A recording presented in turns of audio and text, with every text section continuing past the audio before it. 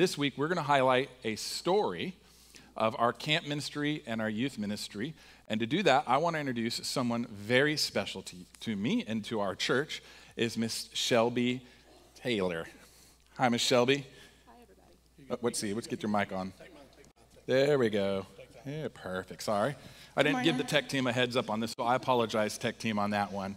So, Miss Shelby became a member here recently, and her family's had their lives changed, and I thought it would be great for her to read her story to all of you today. When I signed my children up for kids camp, I had no idea the impact it would have on my family. You're good. You're good. You're good. Keep going. Keep going. We got it. We got you. Both of my children rededicated their lives to Christ at camp. My children have grown up in, in church, but over the years started going through the motions. They now beg to come to church every chance they get and get mad when they can't attend due to my work schedule. God placed Wilson Avenue in our lives exactly when we needed it. Over the past several months, the amount of love and support my children and I have received has been beyond what we could ever have imagined. Comments made to us by people we have never met were the exact words we needed to hear at the exact moment we needed to hear them. A phone call had been answered at the exact moment we needed a friend. A text message has been read at the exact moment we needed encouragement and love.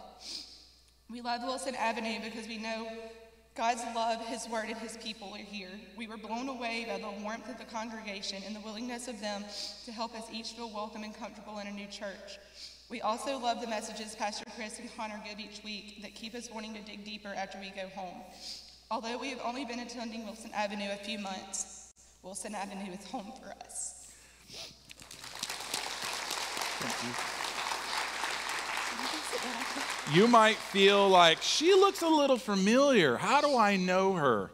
She, uh, I met Shelby at Starbucks of all places because she worked behind the counter at Starbucks. And so I started to invite her to church and pray for her, not in front of everybody at Starbucks, but I'd take in my prayer book her name home and be praying for her and her family. And I could not believe it when I saw them show up to camp and check on her kids. And then when they started attending regularly, you are a huge answer to prayer here at Wilson Avenue, not just for me, but our church has been praying for people who aren't here yet, and they knew that people like your family, your kids, and you needed to come here and experience Jesus.